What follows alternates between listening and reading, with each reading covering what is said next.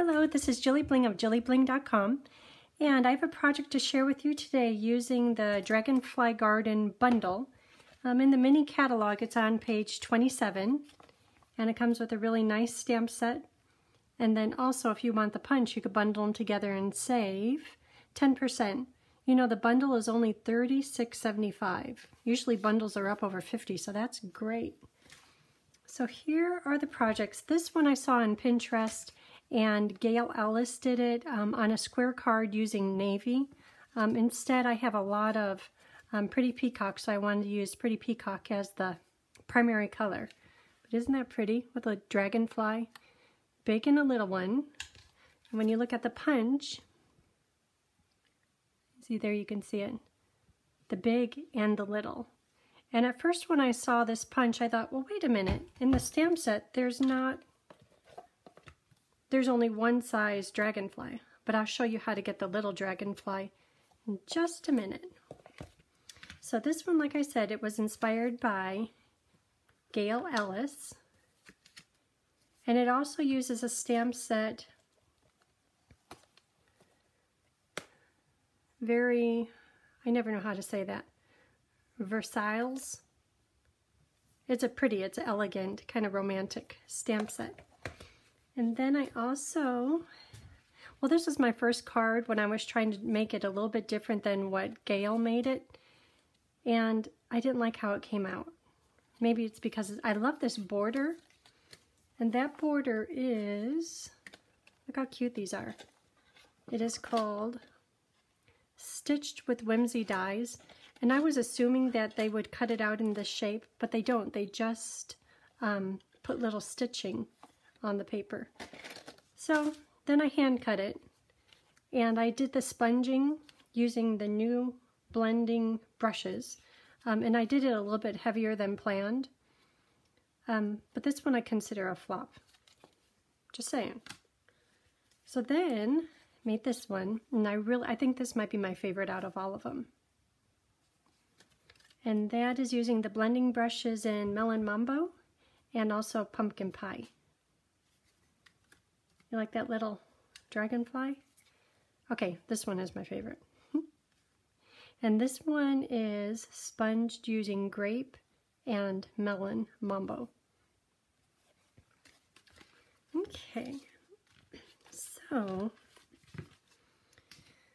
let's see. These are the blending brushes, and we'll use those in just a minute. This is my example of the little mini dragonfly punch um, I'll show you about that in just a minute when we go to do our dragonfly. Okay, so Dragonfly Garden. Very vintage. Um, I use my little color chart for the blends. It helps me decide, for instance, what color do I want to do the dragonfly.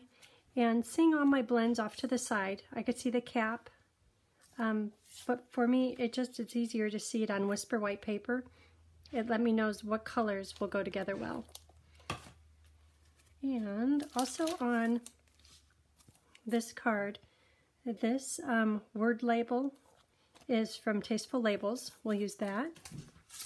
Stitched Shapes is for this circle right here underneath the dragonfly.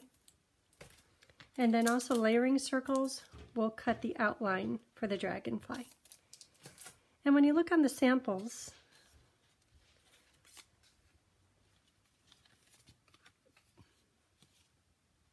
all of these are using the vintage set with the script. And this one is using the Dragonfly Garden set. And today's sample, let's do one using this. Okay.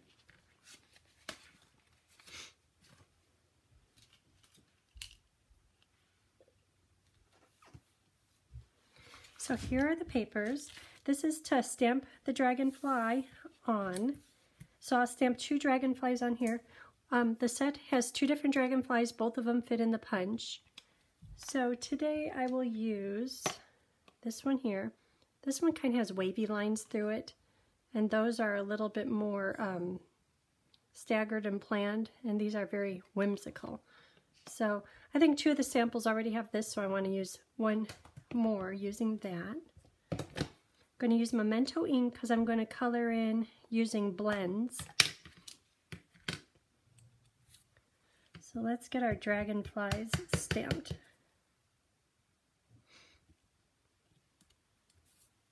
Then I'm going to do another dragonfly down here.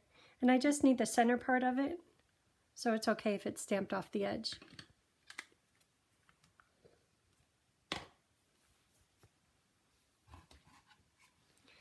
Now use the punch. So I'll start out doing the little dragonfly. So if you just line it up over the top,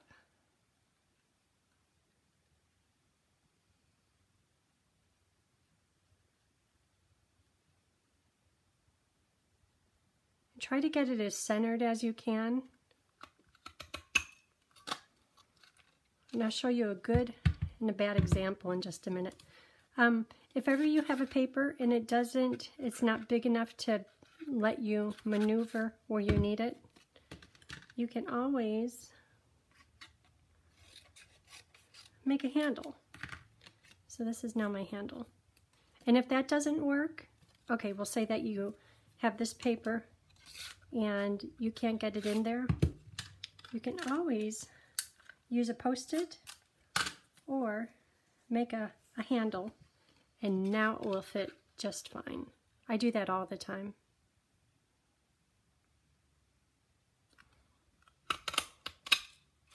Okay, there's my dragonfly. Okay, so I was talking about a good and a bad example of the dragonfly. Where is that little one? Here it is. This was the first one I stamped and punched. Oh, you know, it's a different one, but that's okay. One of the dragonflies in the set, one has a filled in body, a black body, and then this one has a light body. I think this one is a little bit easier to make the little dragonfly out of, but don't let that stop you. You certainly can make one with the light colored body. Um, so I think I should have dropped it down a little bit lower because I have these spots up here of just plain white paper. If I would have dropped it lower, I have um, a pattern all the way up to the top and all the way down to the bottom. And then you're thinking, well, his head probably should be like this one, dark, but using a blend, I could just fill that in. And that's what we'll do.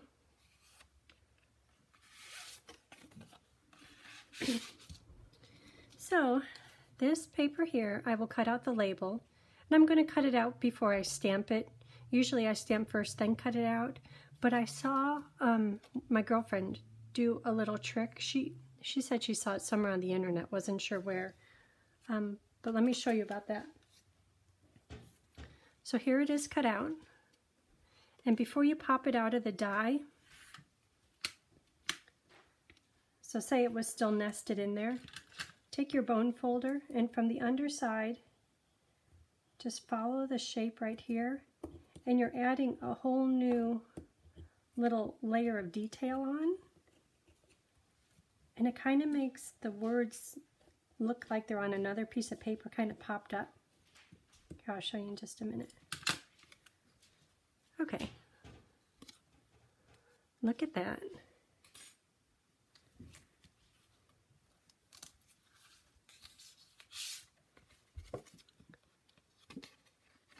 So on this side, you could see the indent, but on that side, look how it's popped up. One more detail. It's pretty. Okay, and this paper is a stitched circle, so that is what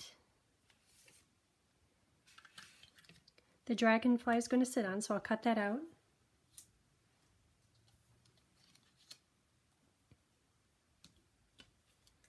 And in here, I have a bigger paper and a smaller size. I'll cut this circle out maybe in the middle, but when you look at the samples, you could cut it out a little bit higher. Oh, not that sample. Or you cut it off way over to the side. which way should I do this card? I think I'll do it up and down. So I'll cut this one out right like this. Okay, so that, this fits in just fine. Um, this paper, I don't know if you could tell that this is textured. So I'm going to texture it using Tasteful Textile.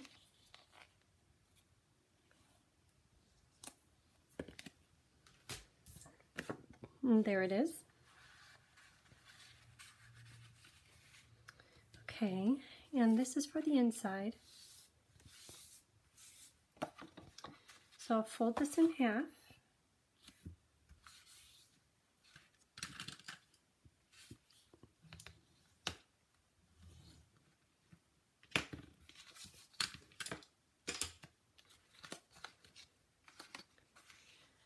And I know it's white on white on white, but when I apply the color with the um, blending brushes, you'll be able to see it a little bit better.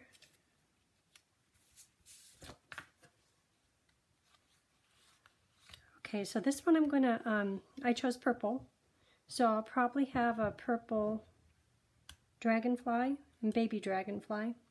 But let's start out with the blending brushes. So those are going to be on this little half paper.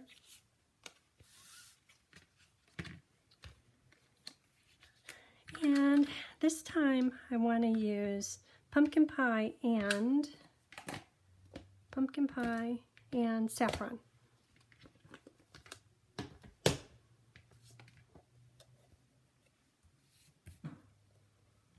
I really don't have a plan yet what how I'm going to do this.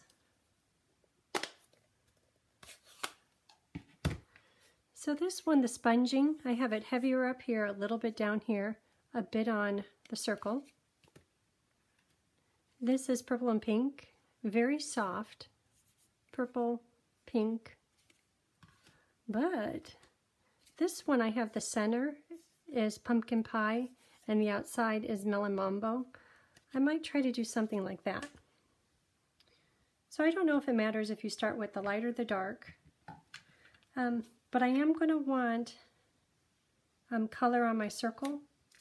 So this is just a hint if you want to do this, but you don't have to.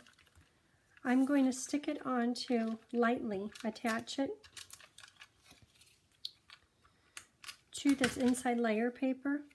and if I get ink on this paper, it's fine because I could turn it upside down before I put it into the card. But that way I could sponge them all at one time. So I think I'll start with the um, pumpkin pie and apply some color. And these I found that I like the sponging to be a little bit lighter because I still consider this a fail. It's very, very vibrant. And if you like that, that's great. Um, but I like these how they're a little bit softer. So I'm going to aim for that. Okay, so I loaded this up with ink by just rubbing it on here. Then I'm going to get off ink off of the tips of all those bristles and start off the paper. And I'm not putting much pressure on this at all. I think if I put more pressure, it would be darker. I do want it a little bit darker on the edges. And it looks like I'm kind of running out of ink on here. There's a hint still going on. I'm going to get some more ink. Again, kind of get it off the tips. Start outside. It's a little darker than I wanted, but who knows? This might end up being the best one ever. Just a few days ago, I did a more blending with the blending brushes, and I think maybe it's kind of my favorite thing lately. Brand new brush, they're so soft, and it's more like little hairs. They're nylon. Um, they're different and better than makeup brushes because I guess a lot of those little fibers come out and we don't want that.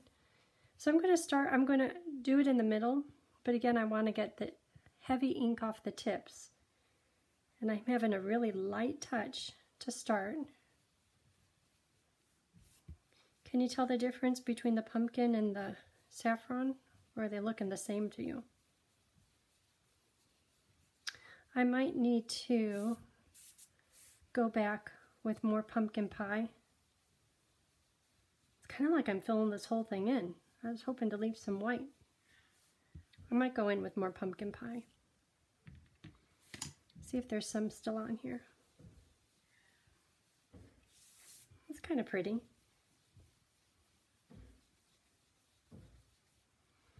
Okay, so I'm just going to leave it there. Um, I had to do the inside, but I'll do that in a minute. Okay, so this little paper has served its purpose. And yes, there's some ink on there. So before I forget, I'm going to attach this to the inside of my card with ink side down.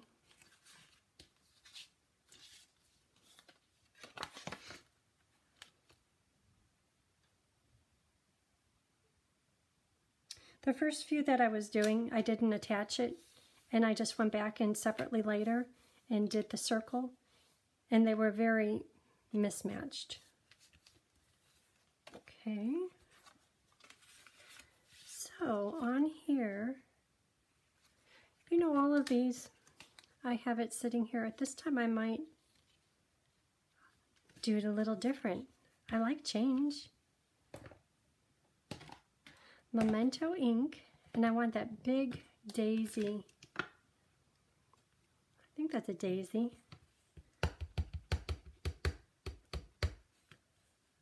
Oh, but you know what? When I'm looking at the stamp, to me this side seems flat and the branches are kind of going that way. So I'm turning it back.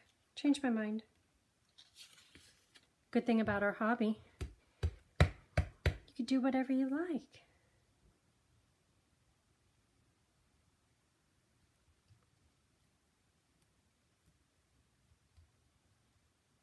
That turned out so pretty. See if I do another one down here, I don't know that it's going to show. I'm just going to leave it um, because the words are going to go there. Okay. There's a little stickum on the back of there. If ever you have something stuck, if you give it a twist, that's an easy way to release the stick. Okay, so this will go here, here. Yeah, I think it's good that I didn't put the flowers there. See, this one's turning out just like this one.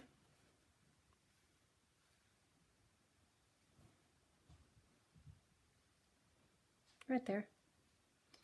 So the words for this one, how about thank you? This little dragonfly off to the side, I kind of like how he's more like an emblem. I'm going to do this one. Where's the good one? Right here. And I will do it on this side. So the thank you, I'll put it in black. Just a minute. A little fuzzy.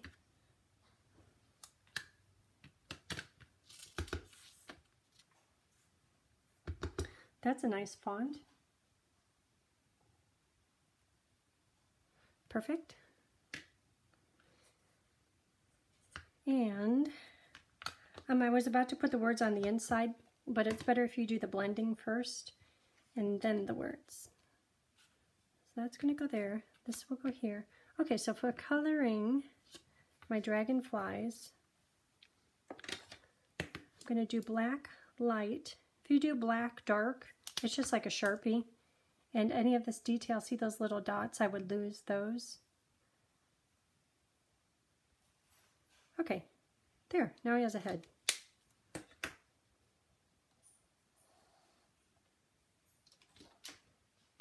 So I'm going to do these in purples. Where's my chart? I have Posy and Heather. Posy is more of a pink, and Heather is darker. So I'll start out with Heather, Heather dark, dark heather.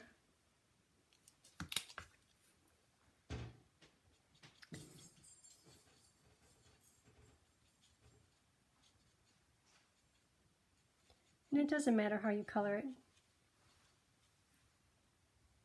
But I want to try to get all four of these colors in.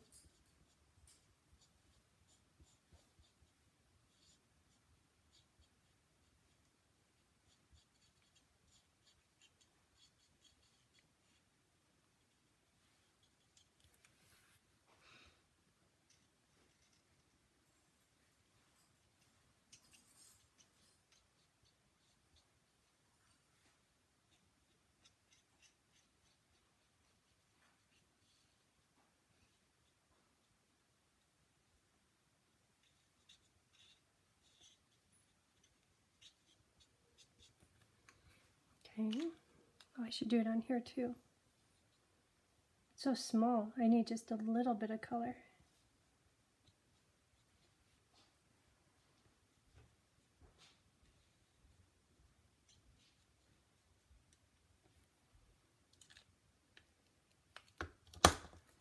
Okay, Heather Light. Trying to allow room so that I could get those other two colors in here. So when choosing the colors, first of all the sponge, um, then I had the dragonflies, I tried to think of an opposite color. So that one we just did sponging in yellow and orange. And if I would have done a yellow and orange dragonfly, it would have been kind of a pretty, uh, but a blob of color.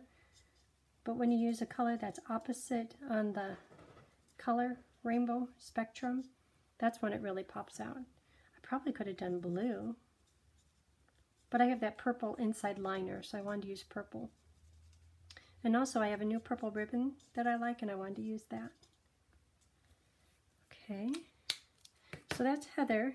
So now I'm going to do Posy Light and Posy Dark.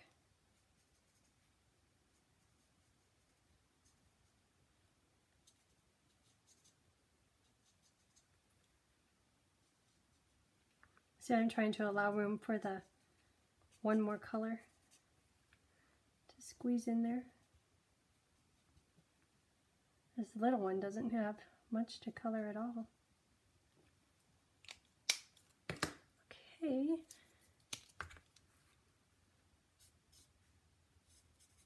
Yeah, that's kind of going closer to pink. But it'll still stand out against um, the orange and yellow. Excuse me.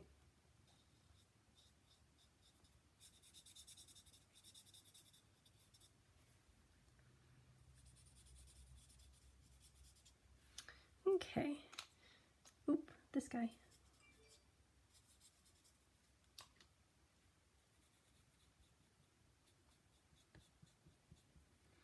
Okay, so now to color his tummy, I'm going to do it in bronze.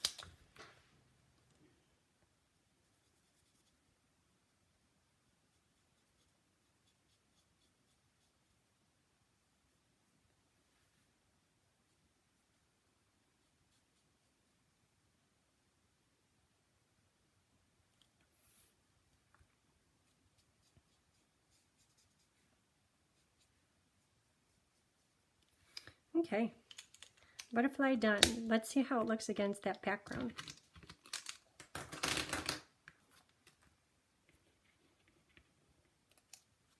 Yeah, that's nice how it stands out. That really stands out. So I have planned on coloring in these flowers, but I don't know, it might be distracting. Let me see how it looks with the ribbon, because the ribbon the purple ribbon I was talking about, it's a little crazy. Kind of matches the dragonfly though. I'll just do a knot.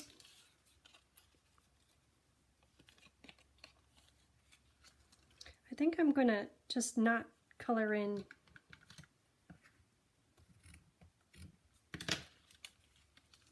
because See this one, how I colored it in? It's pretty. But then what are you looking at? Are you looking at the dragonfly or the flowers? I think because the dragonfly is so bold, that one's fine. But this one I'm going to, I'm going to leave it not colored. And I know how a lot of you, when you don't have to do coloring, you like it. So maybe that will be a good thing. When you're tying a knot on something, just tie the knot wherever it's comfortable for you to tie it, and then you could shift it after it's in a knot. Okay, and I'm going to put it way over here. Unless you have stick 'em on the back, that's not good. Okay, there it goes.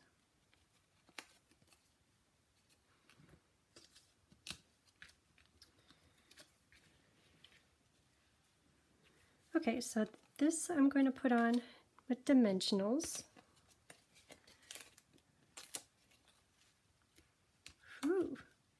Got lots of them here.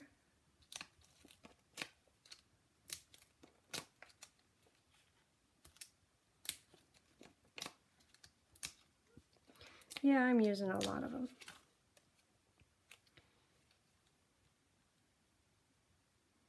I'll put that right there. Then this stitch shape, see how this is a little bit heavier in the yellow? I'll put that right like that. And I'm going to put it on with adhesive, just so it's flat, because the dragonfly will be popped up on dimensionals. So there's a little of the pumpkin pie out there. And then just get that centered in the layering circle die cut area. Okay. Where is Dragonfly? See, that's coming out good. This this one is for Chris. Chris loves purple. Quite a few people like purple.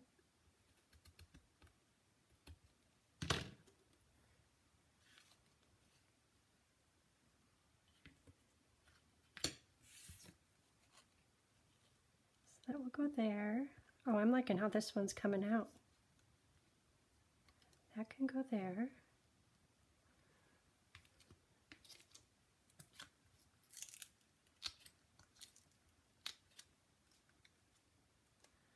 One mini dimensional, that's all that guy takes.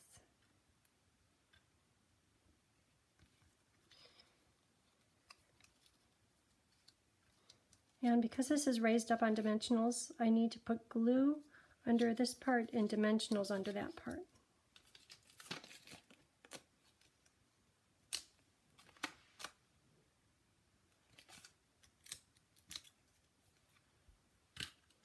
Mm, I'm going to use liquid glue.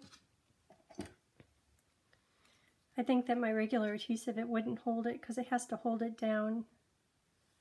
Um, the ribbon is going to kind of go over the ribbon.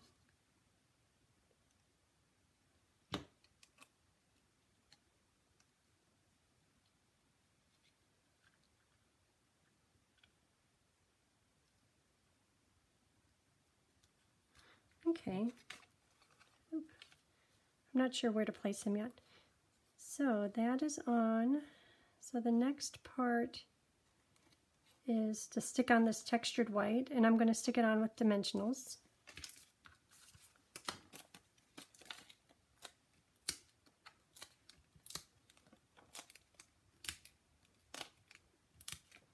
Because um, this white paper is textured and kind of the fibers in it are broke, it um, Usually it's a little bit more flexible. So a couple extra dimensionals will help support it. Okay, so there's that. Now, this one, I keep being inclined to put bling on it, but I'm trying to keep it a little bit more natural. Let's see. So this dragonfly is going that way. I think they're all pointing in. Oh, this one is pointing outward. Okay, How about right there?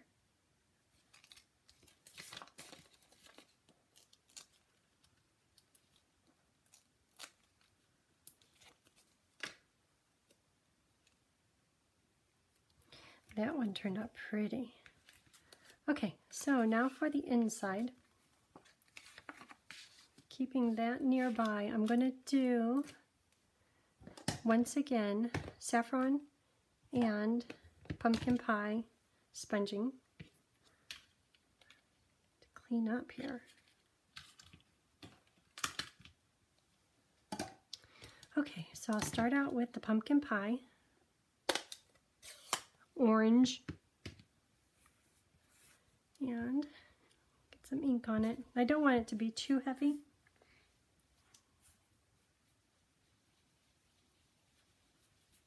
Just because that first one, that one was too dark. It'll be interesting to see who likes it dark and who does dark sponging and who tries to keep it a little bit light.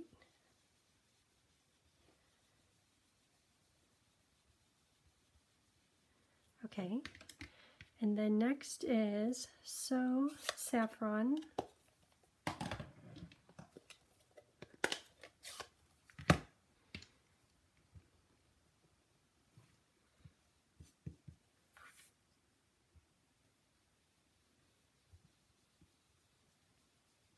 Yeah, on the bigger paper you could tell the difference in the colors.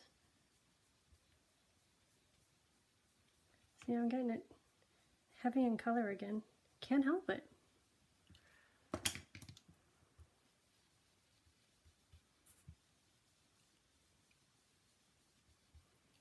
Okay, so for the inside, no, I didn't come up with a plan.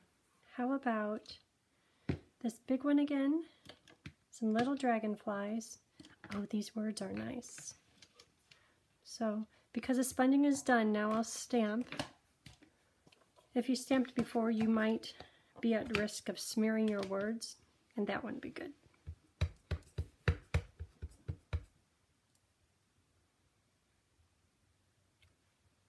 That turned out nice.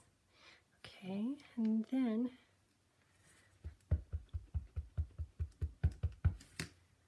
this big one that once again I'm not going to color should make it easy. Just one stamp and you're done. Okay. And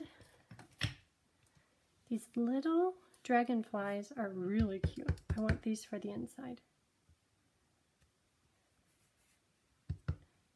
The more I put in here, the more I have to color, so I'm not going to put too many in there. And then I'll color them in the purple tones, like the outside. Because they're so small, I'll probably do um, some Posy and some Heather because I don't think I could fit four colors onto those tiny little dragonflies. So this is the dark Heather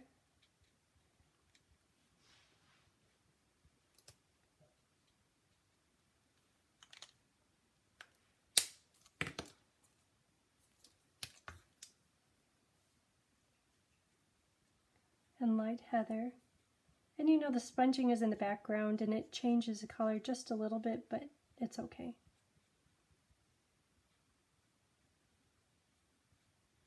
And then those remaining dragonflies I'm going to do in Purple Posy. You know, it's about February, and come early May, we're going to have a new catalog. So if you like Purple Posy, get it sooner than later. It's going to go away.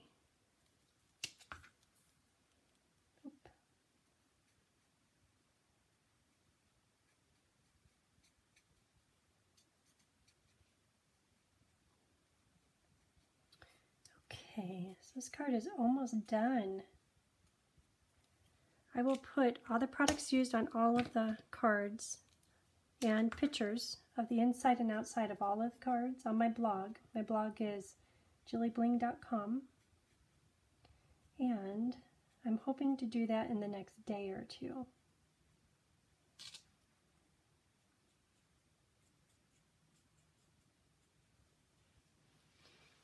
There it is.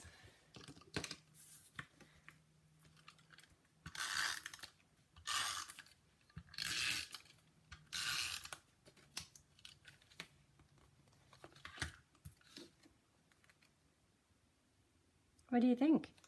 Came out pretty, huh? Okay, thanks for tuning in. If you can, give me a thumbs up and subscribe. And until next time, have a great weekend. Bye.